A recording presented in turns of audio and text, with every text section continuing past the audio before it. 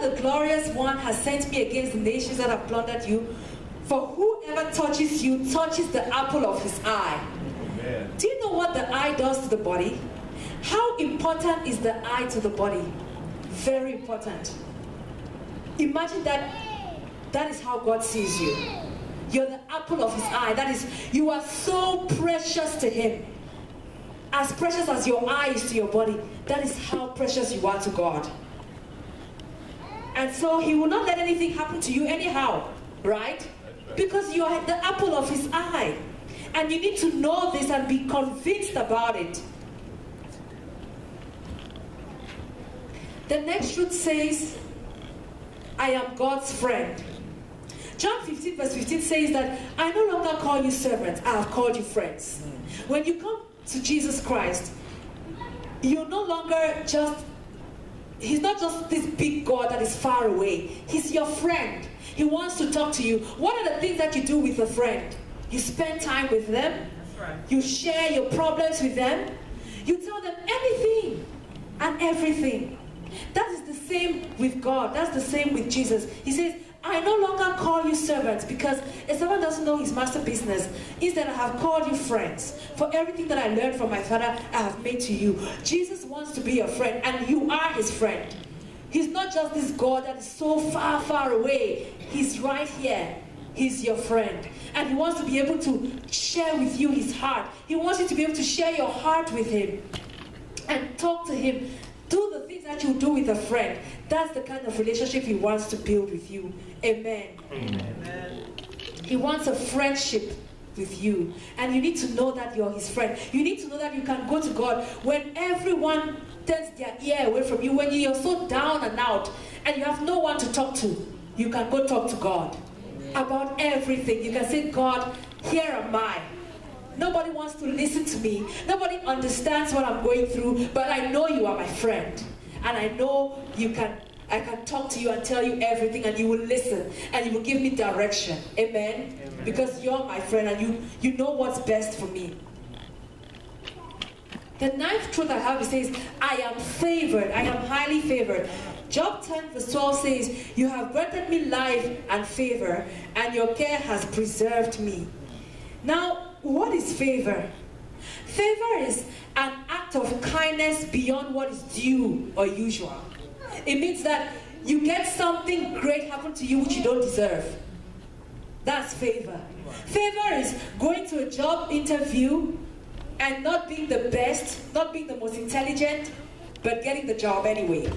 Because God's favor is upon you. And I can testify about that. Let me just give a, a brief history of, of, of God's favor that has been upon me. Been so faithful to me and has favored me a lot. Um, before I moved to South Africa, I'm originally from Cameroon. And uh, while I was in Cameroon, um, I got married to my husband who was in South Africa at the time. And, you know, while in Cameroon, I was working. And when I got married to him, I had to move. And my family was like, oh, you can't leave your great job here, you know, and go move with your husband. At the time, he was like a student, you know, so he didn't have a lot of money. So it was, it was a great concern. And I was like, no, but I can't like be married and not be where my husband is. It's just not, doesn't really feel right. So I trusted God and I said, God, I mean, you brought my husband to me, so you obviously make a way. And guess what? His favor. Before I even left Cameroon, I got a job. Right. I had a telephonic interview with a company in South Africa.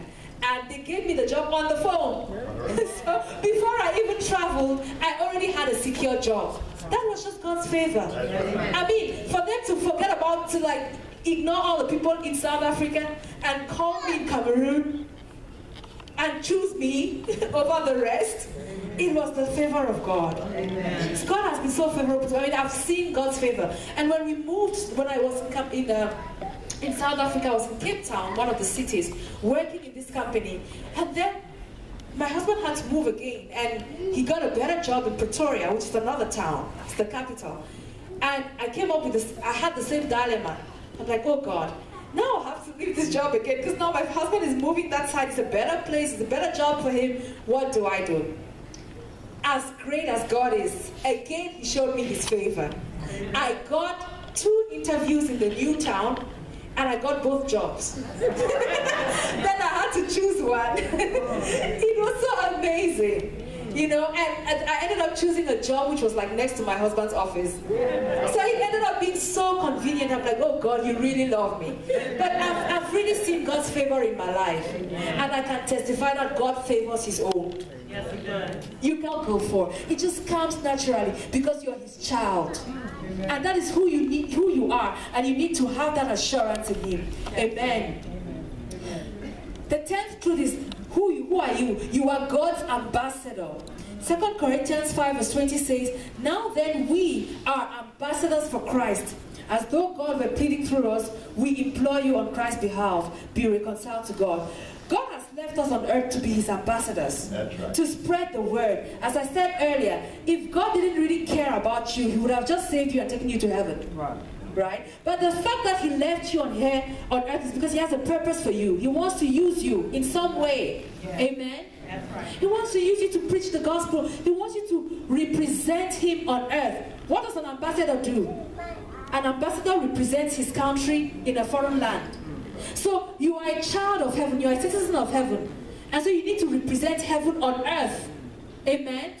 You need to bring heaven on earth because you are an ambassador of heaven. Amen.